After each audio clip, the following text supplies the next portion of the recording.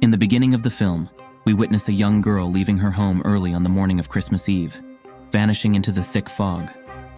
Dr. Flores was abruptly awakened by a phone call, a pressing matter that required his immediate presence in his office. A policewoman informed him that Inspector Vogel had experienced an accident, thankfully without any injuries, but he was now in police custody. The authorities were seeking the psychiatrist's assistance to speak with Vogel. Dr. Flores didn't expect Inspector Vogel's return to their area, especially following the well known case of the missing girl. Nevertheless, Vogel had his motives and was now set on uncovering the real story. It all started before Christmas, as Vogel came to Avechot, a remote alpine town, to probe the mysterious disappearance of 16 year old Analo Kastner, who had seemingly vanished without a trace. Inspector Vogel directed Agent Borghi to go with him to the Kastner home. The Kastner said their daughter, Anna Lou, was responsible and did well in school, just like them. Anna Lou was religious and clearly didn't run away, which some rebellious teens do. She wasn't even on social media, as it was against the Brotherhood's rules. Before leaving, Vogel suggested the Kastners release a public statement, expecting reporters to swarm in. He thought that reporters could gather information faster than the police. As he departed, Maria, Anna Lou's mother, gave Vogel a bracelet made by Anna Lou. Outside, Vogel clapped, grabbing the neighbor's attention, who came out to see what was happening. Vogel was sure that if a crime had happened, it would have drawn attention, leaving no doubt this was an abduction. On that particular morning, Anna Lou had plans to attend the Brotherhood Church but never reached her destination. Just seven minutes after leaving her home, her mobile phone suddenly went offline. Concerned about their daughter's whereabouts, the Kastners, distressed and worried, turned to the public for any information. Inspector Vogel approached the Kastners to learn more about Anna Lou's Brotherhood. Borghi described them as devout believers with strict rules. Since reporters closely watched the police, Vogel decided everyone should wear painter's suits, not their regular uniforms, to discreetly conduct their investigation. The headlines are buzzing with the disappearance of Anna Lou. Inspector Vogel, a well known detective with experience in high profile cases, is leading the investigation. They've set up a temporary police station in a sports hall, and the team is working diligently. Inspector Vogel is keen on keeping the media's attention on this case. Mr. Kastner paid a visit to the inspector earlier today. He came in person to discuss a matter that's been troubling him. Maria, while cleaning the room, stumbled upon their daughter's diary. Anna Lou had a close friend, Priscilla. In a candid moment, Bruno, Anna Lou's father, admitted to finding Priscilla's number in his daughter's phone. He repeatedly called but stayed silent. Bruno couldn't explain his behavior. Inspector Vogel advised Mr. Kastner to move past the mysterious calls and reunite with his family. In the evening, Vogel crossed paths with Stella Honer, a well known journalist who had recently arrived in Avechot. Vogel handed over Anna Lou's diary, noting that from the girl's entries, she appeared quite proper and never defied her parents' rules. It was clear that Anna suspected her mother was snooping in her diary, so there must be another one where she penned her true thoughts. Vogel struck a deal with Stella Honer. She'd create maximum case attention, and he'd share vital info. Anonymously, Stella left a toy kitten by the Kastner house, drawing a crowd praying for Anna Lou. Police watched closely, thinking the culprit might appear. This happened often, and the perp might even take a souvenir. Agent Meyer became suspicious when he noticed a man taking photos in the area. Later on, a skateboarder picked up one of the toy kittens. However, Inspector Vogel ordered everyone to stay inactive for the time being. Vogel strongly believes that Anna Lou went willingly with the person she knew personally, someone she trusted. This suggests that Anna Lou might no longer be alive. At this point, the police's primary goal is to locate the criminal before any evidence of a tragedy emerges. Late in the evening, Vogel got a call from Borghi, who discovered that the skateboarder had a history of photographing couples in public areas. Currently, Mattia, the skateboarder, is under psychiatric evaluation. Vogel then called Stella, notifying her of an impending important development as pledged, granting her a 25 minute lead before potential rivals could act. On New Year's Eve, Vogel broke into Ma's house and stumbled upon a video on his laptop that featured Anna Lou. When Mattia noticed the inspector's presence, he reassured him, expressing his intent to assist. Vogel promised Mattia that he'd receive the recognition he deserved if he led him to Anna Lou. Mattia silently played the next video, revealing that he had been monitoring Anna Lou for quite some time. A suspicious SUV appeared in the footage. Vogel told Dr. Flores that Ma's videos were crucial for discovering Anna Lou's surveillance. At that moment, her fate appeared grim, and locals clung to distant culprit hope, but suspected evil in their midst. Previously, Professor Loris Martini emphasized evil as a key literary plot element. Priscilla later flirted with him and discussed her acting aspirations, learning he had a theater club background in college. Priscilla shared her contact info and proposed studying at her place. Loris, though, has a wife, Clea, dealing with job related depression. Martini was returning late from planning a solo mountain hike. He found out about a missing schoolgirl from his wife, but claimed not to know Anna Lou Kastner, thinking she might have run away, a common teen problem. Clea noticed a hand injury on Loris and asked about it, which he brushed off as a minor scratch. The couple has a 16 year old daughter, Monica, who's often on social media and conflicts with her parents over their recent move. Monica misses her old friends, leaving her feeling isolated. Loris understood the need for distance from Priscilla, but couldn't resist sending her a secret message, unknown to Clea. Clea shopped for their daughter's gift. Flyers about Anna's disappearance covered the town, and many volunteers and the police searched nearby areas for the missing girl. Loris had volunteered, and life for the Martini family continued as usual. Monica, as always, avoided talking to her parents, while Clea began considering finding a new job because her husband's salary wasn't enough, and there weren't any job prospects here. However, their tranquil life took a sudden turn when the news featured a car tailing an SUV. It was Loris's SUV for sure. Clea and Monica soon found out about it, but neither of them could make sense of the situation.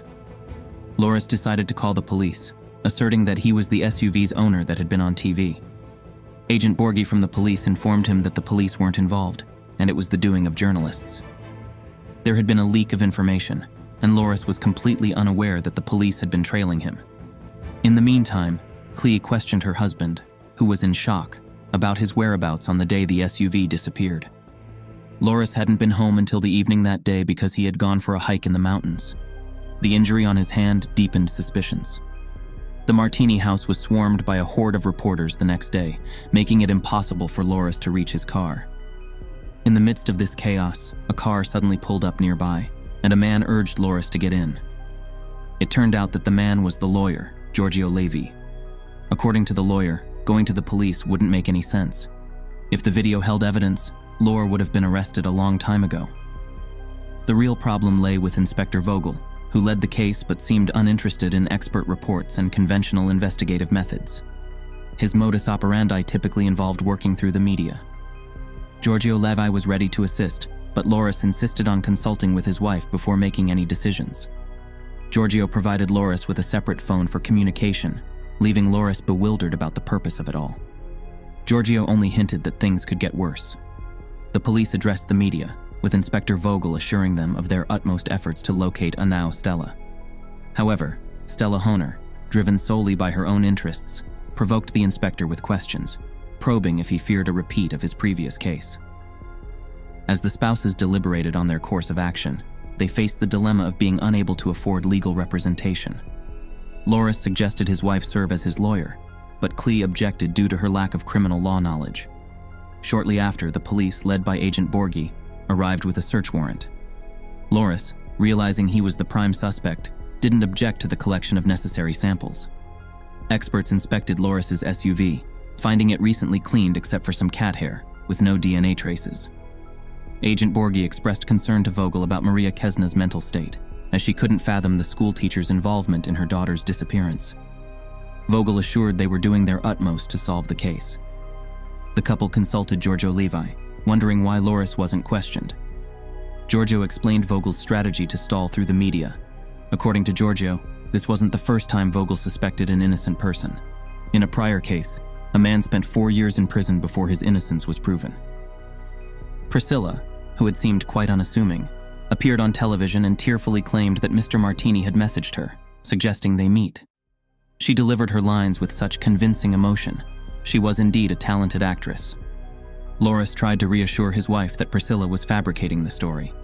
He had only wanted to provide acting lessons, nothing more.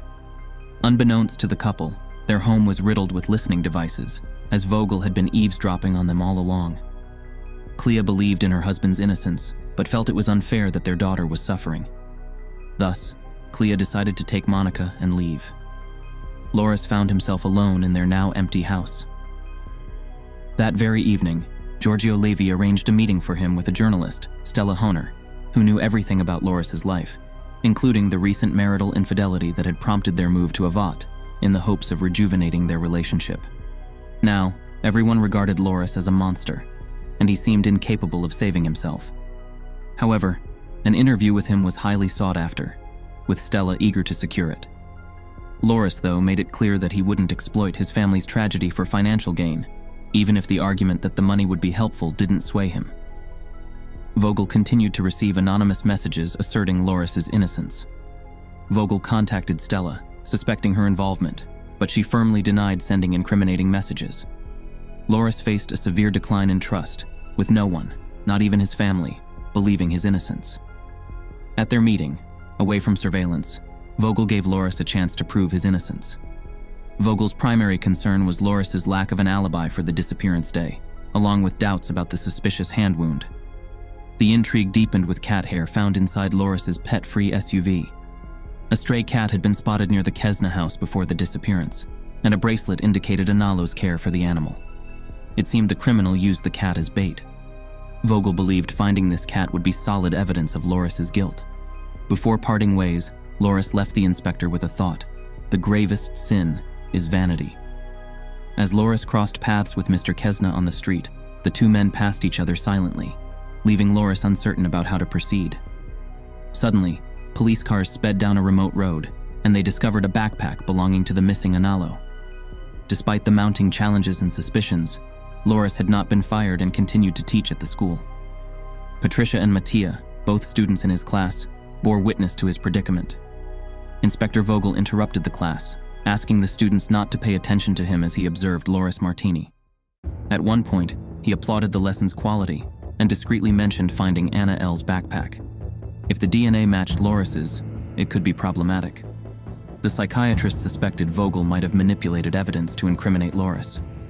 Vogel simply commented that justice was of little concern to anyone. After Loris Martini's arrest, Vogel intended to leave Avechot. However, he got another anonymous message, leading to an immediate call. The woman introduced herself as Beatrice Lehman, a journalist, and said she had solid evidence of Loris Martini's innocence.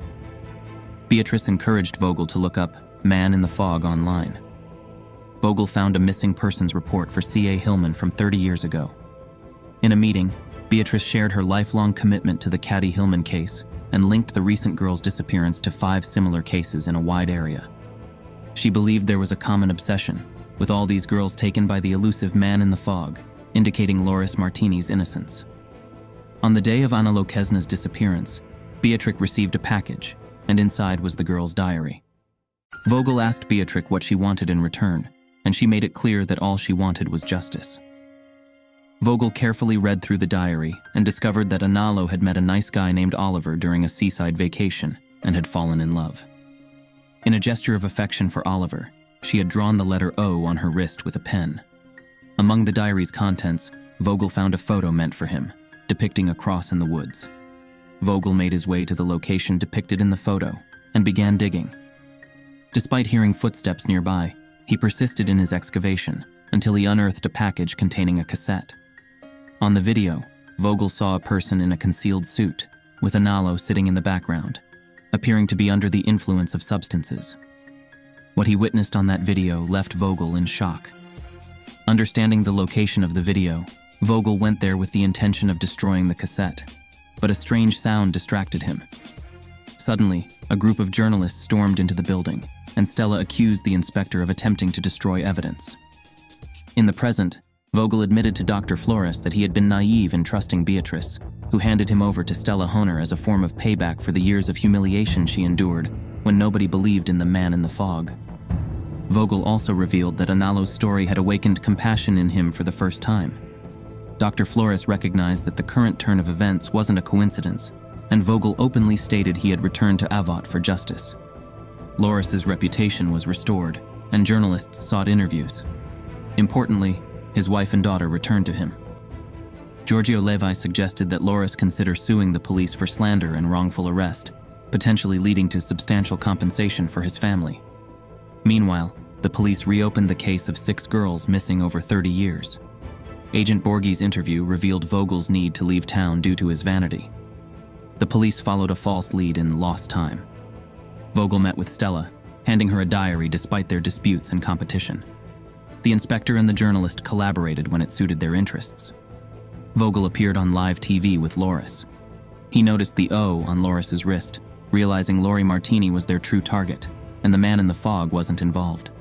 Initially, Loris had intentionally deceived Vogel, knowing his reputation. Loris decided to exploit the situation. While literature's villains are often driven by hatred, real life motives are often about money. On the fateful morning when Anna left home and saw her teacher trying to catch a cat, she agreed to help him, capitalizing on her distraction. Loris attacked her, executing his sinister plan after Anna's last breath. He then noticed the letter O drawn on her hand with a pen. Now Vogel realizes that Loris had initially targeted him, and there might have been no man in the fog. It could have been a product of the journalist's imagination. The idea was to ensure nobody found the body, but Loris, like Vogel, succumbed to vanity and drew the letter O on his wrist.